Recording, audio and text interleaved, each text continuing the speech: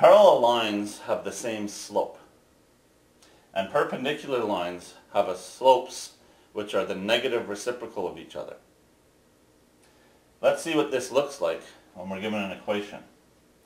If we want to find the slope of another line that is parallel to this one, it will have the same slope as this one. So using the y equals mx plus b form of the straight line equation, I can see that the slope of the given line is 2 thirds. I write m1, slope of line 1, is equal to 2 thirds. Then I state that slope 1 is parallel to slope 2. Therefore, the slope of line 2, m2, will also be equal to 2 thirds. This statement is called the justification. When you're doing calculations with the slopes of parallel lines, it can be important to say this to justify the slope that you are using. If I just plunk down two-thirds as my slope, I might be correct, but I have to say something that gives the teacher who might be correcting my exam proof that I understand this concept.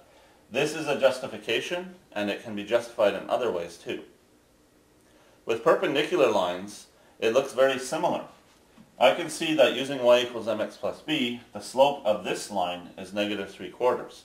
I want to know what the slope is of another line that is perpendicular to this one.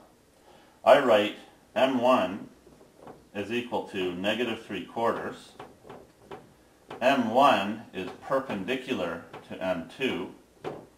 Therefore, m2, the slope of line 2, will be equal to positive 4 thirds. The negative reciprocal means I turn the fraction upside down and I change the sign. So this is a positive 4 thirds slope for the second line. Here again I have given a justification which shows the logic I am using to find the slope of the line when I'm doing a multiple step problem.